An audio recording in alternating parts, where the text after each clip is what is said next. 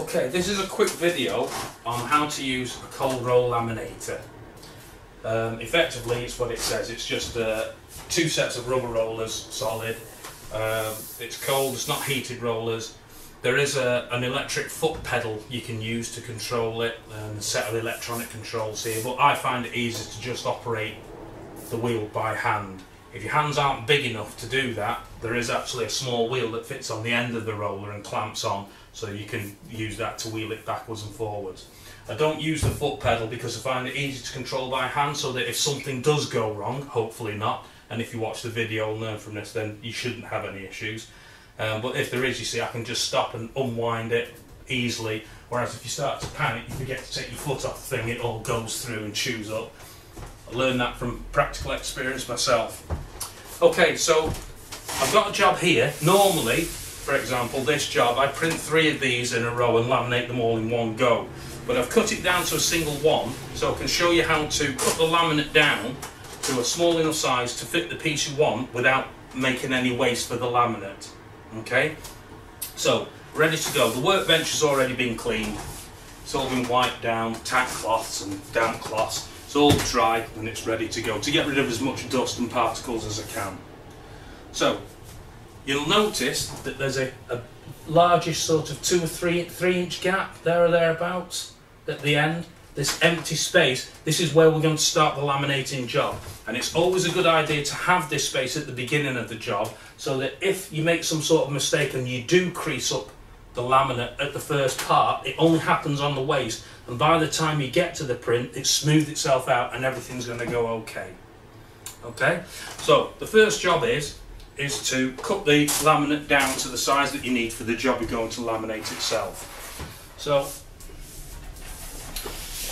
all we do is we pull the laminate all the way to the end, and then what I need to do is, what I do now is, I just roll the laminate back about half an inch from this end, make sure it's flat all the way across, and that gives me the length that I need for the job. So now I cut the laminate at this end as close to the edge of the vinyl as I can. So I just quickly do that. Go all the way across. Same thing on the other side. Pardon me if I've got my back to you.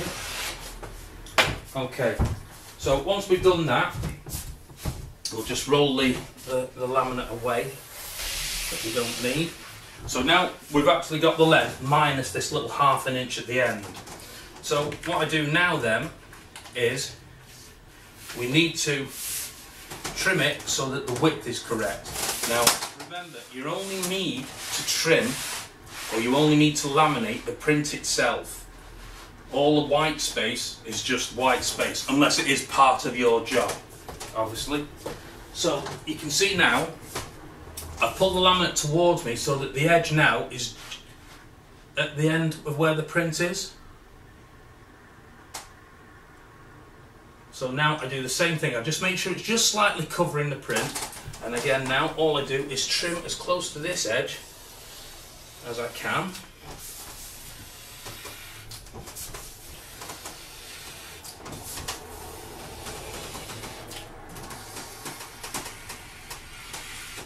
Now I can take this large piece of excess, I'll just roll this up and put it out of the way and obviously this can be used on another job at a later date.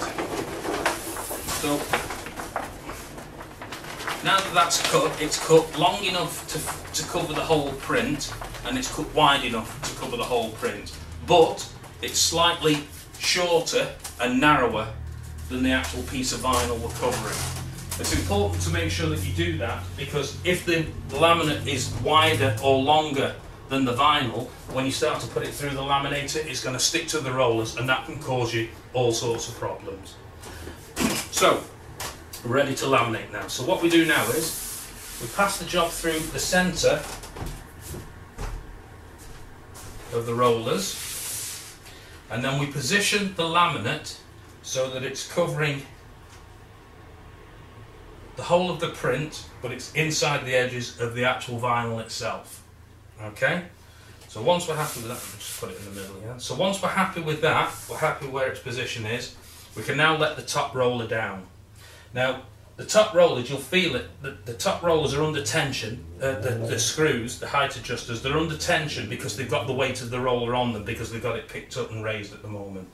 But as you screw them down, as the top roller then rests on the job and on the bottom roller, all the tension goes off these screws and suddenly, there we go, they, they, they spin freely because there's no tension on them. It's the same on both sides.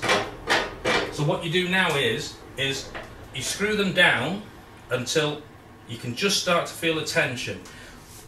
And then what I do now is I just screw them down about a quarter, an eighth to a quarter of a turn, just to put pressure on this top roller through the job.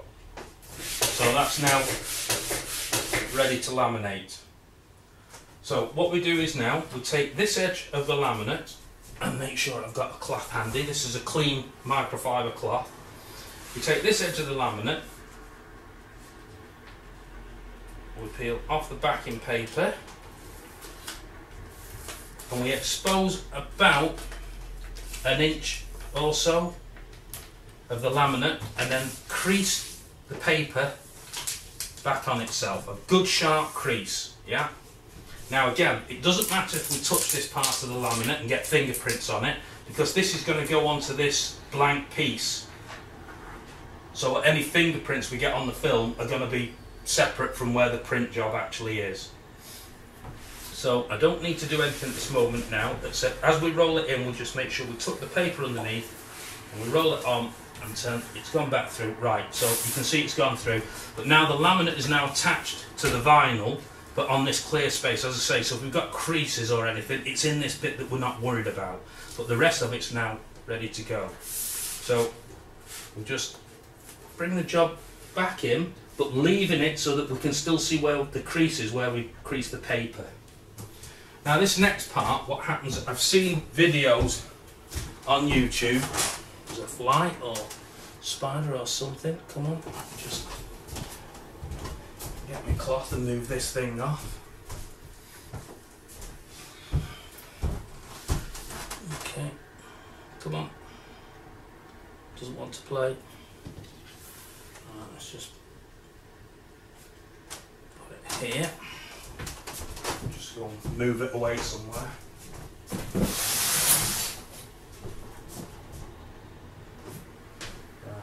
Okay, sorry about that. So, as I say, what I've seen in other videos is that they they take the laminate, they bring it up to the job, and then they roll the laminate in front of them like this. Okay? And basically they roll it away from the laminator. Now the problem with that is is when you get to this point, if you put if you now put the film here, if you let go of it, it's going to unroll and spill all over the floor. Okay? Now, if you're on your own, this isn't an ideal thing. So, what I've found, again from personal experience, is the best way to do it is you roll the laminate towards the laminator. So, we'll take this end and we roll towards the laminator so that the paper is on the outside. Okay? So we take that all the way up to the job. And now what this does is, if we bring it over the top of the roller and put it down, we can now let go of it, and you can see now it's not trying to roll out, it's actually rolling against itself, so it's holding itself in place. And this gives us two hands free to do whatever it is we need to do. Okay. So, before, before I'm ready to go, I don't want the job when it comes through to drop onto the floor. So I've got a small sort of easel, um, in this case it's actually a stool, and a piece of cut off uh, aluminium composite. And I just put this at the back so that when the job comes through, it goes onto the composite and it will just roll along. And by the time it gets to here, it won't have touched the floor, so we're just not picking up dust and crap. So, before I start, I now take my clean microfiber and I just give the whole job a quick wipe over. You can use a tack cloth, obviously. Be careful not to apply too much pressure, otherwise you'll leave some of the, the grease that's in the cloth itself on the job and smear it.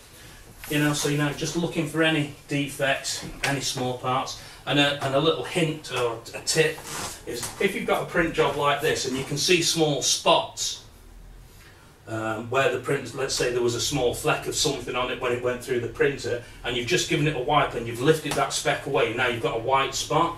You can buy yourself a, a set of, a full set of um, coloured Sharpie pens, permanent marker pens, with a whole sort of spectrum of colours. And wherever you got those little dots, you can just dot them and fill them in.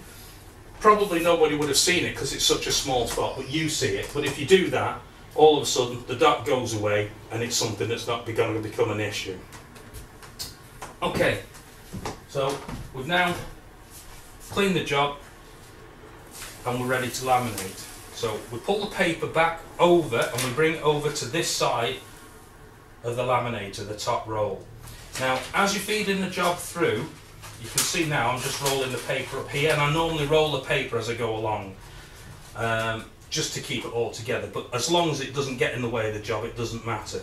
What's important is, as you're rolling the job through, you must keep where the, the paper separates from the laminate, keep it on this side of the roller.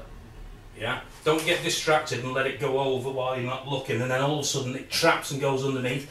It's not a problem sort of because you can roll it back and carry on, but it creates a small sort of crease and you'll always get this line of air bubbles small air bubbles, really fiddly to get rid of, and if you're using a small needle or a pin to get them all out, it takes you ages and ages, and there are some really small ones you're just not going to get rid of. So be careful and make sure you keep the backing paper where it separates from laminate on this side of the roller. Also, try and keep the job going in one continuous roll if you can.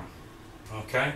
Uh, now what I'm going to do is, I'm going to start rolling it through and I will pull the paper, but once I get to a certain point, I'm just going to let go of the paper and just pull it from here manually, instead of keeping hold of this end. Okay, so I've got my panel to make sure it doesn't fall onto the floor and I'm ready to go.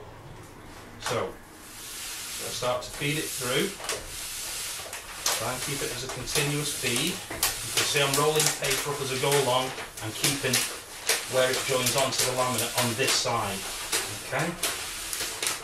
So we're coming through. Now you can see it's jamming up slightly and it's picking up the job here, which is not a problem because you can just push it down and carry on.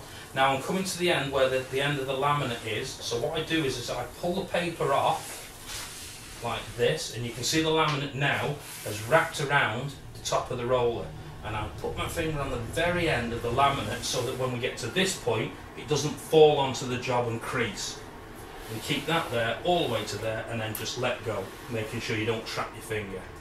Once that's done, just feed it back in and run it all the way back through, back onto the table. And then another important thing is, once you've done the job, immediately pick up the top roller because if you forget that and then leave it for a week or two weeks or whenever the next time you're going to use it, it'll create a flat spot on those two rollers and then it leaves this funny little creased line at intervals along the, your next job. So that's the whole thing laminated uh, and ready to go onto your board or your uh, application surface. Thank you.